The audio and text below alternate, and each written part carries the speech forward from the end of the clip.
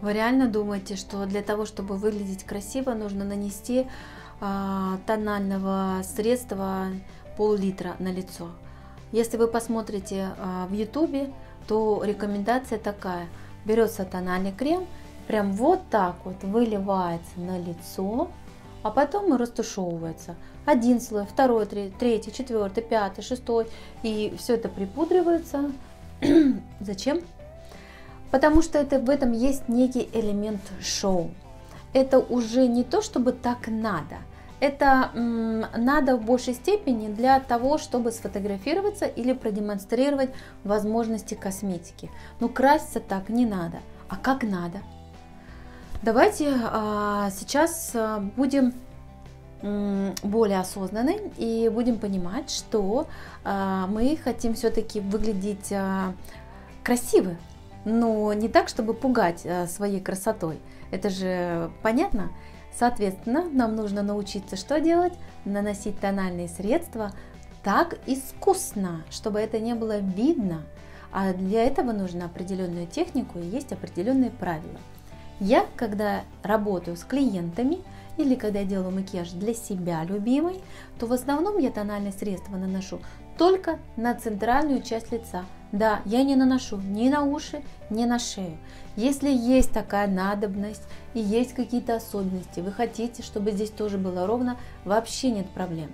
Но если у вас здесь все в порядке и уши у вас такого же цвета, как и лицо, то тогда а, перебарщивать с нанесением тональных средств, ну вообще нет необходимости. Ну зачем? Ну объясните мне, зачем тонировать уши? Что там с ними не так? Чтобы не было разницы с э, кожей, ну так тогда нужно подобрать, наверное, правильный тональный крем так, чтобы он настолько растаял на лице, чтобы не было этой разницы с ушами. Поэтому основная а, задача это выровнять центральную часть лица. Поэтому если мы нанесем тональный крем только на эту зону, то вы увидите, что уже все замечательно и красиво. И нет необходимости наносить на э, половину тела.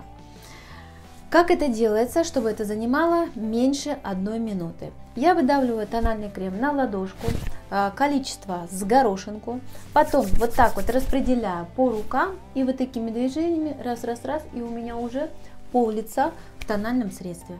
И это занимает меньше минуты, потом приходится просто помыть руки и все. Дальше корректор, пудра и я готова. То есть я люблю по минимуму. Если также кто-то любит так, как и я, то попробуйте, вы увидите потрясающий результат, свеженькое лицо.